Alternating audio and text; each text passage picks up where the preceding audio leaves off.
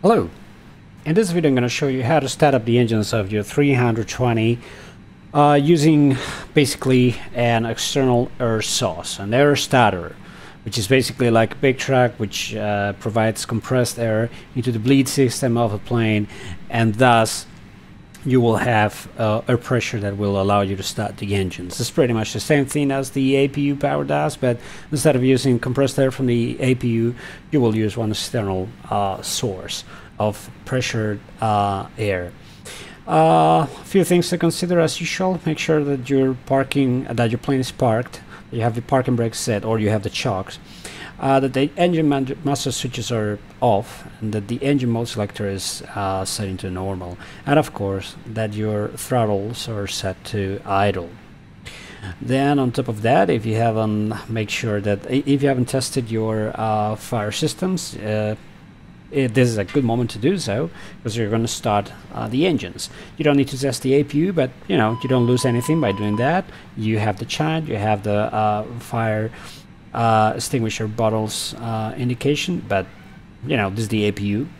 We just want to make sure that the engines are you know are covered by the fire system. So let's try uh, engine number one with the chime, both engine bottles. Let's try the second engine. Same thing happens. We get the fire chime, the light, and the uh, and the uh, engine discharge uh, lights coming up. With this, we know that the engines are are secured uh, by the fire uh, by the fire systems. So basically, uh, what we're gonna do is uh, to hook up to the plane some external air source. To that, you go to the MCDU, you go to MCDU menu, you go to Options, External Controls, and you hit the air starter the air starter all right? So first let me just hit the bleeds in the system display so you will see a diagram of what's going on in here. Um, by the way let me tell you from now that we're gonna need to have the engine bleeds off in the engine number one. Basically when you plug the pressured air source into the plane it's going to be connected to the uh, engine number one um, bleed valves. So basically from there you will have you will have pressure air available for both the engine one and pack one all right? You won't have any pressure either on pack two or the engine two because you don't have the uh, cross bleed valve open all right? But for now let's just follow the flows and we will see what happens okay? Uh, one more thing make sure that your uh, uh fuel pumps are turned on and hit the beacon on. Alright, so we connect your starter, which you see that there is pressure. You have uh, air pressure in engine number one and also on the packs. You uh, set the engine ignition selector to ignition start.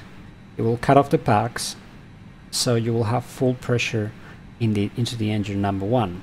So what you do is you enable engine number one, you fire it up, and eventually you will see N1 and N2 rising. As usual, for as long as there's no fuel flow and there's no combustion, temperature will drop.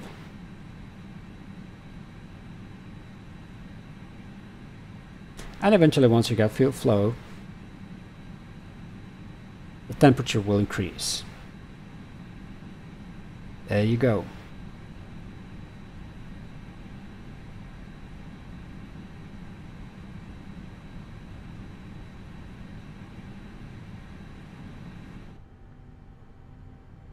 There you go, starting up.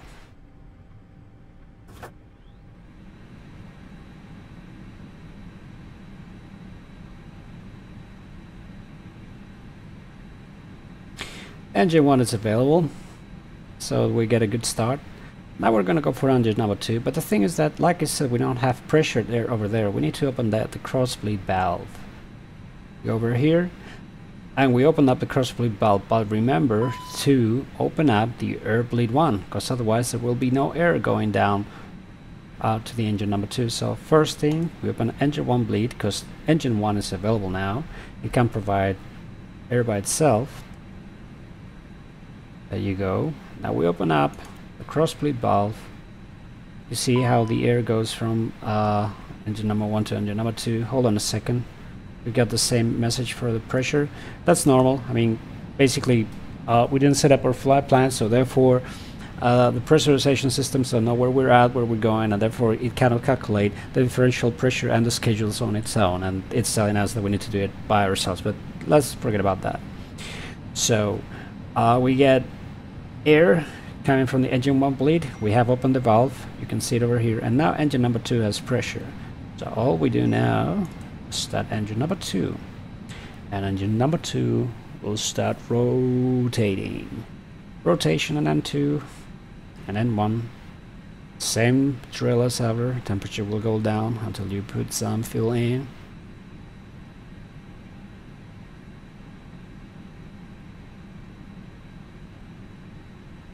fuel flow coming in.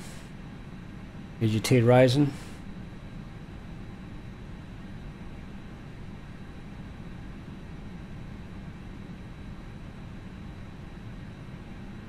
There you go.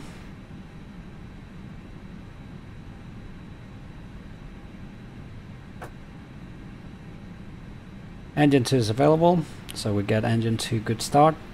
So all we do now is uh, set the engine uh, mode selector to normal. We close the crossbleed valve and now eventually the packs will start getting uh, the pressurized air from the bleeds of engine from you know from its respective engine.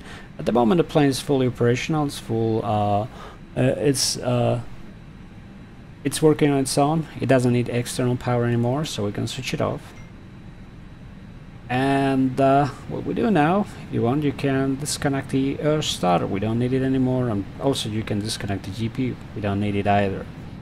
We can cancel and clear everything the system's display. And that's pretty much it. We get a good start using an air starter or an external pressurized air source. I hope you find this video interesting, productive, that you might have, uh, you know, I just wish that you can learn something from that. Uh, if you like the, the video, just click the like, hit the subscribe if you want it. If you think that there's something that I should change or improve, just write it down over there. I will take it. Don't worry. So, for now, that's all. Have a good one, guys. Peace out.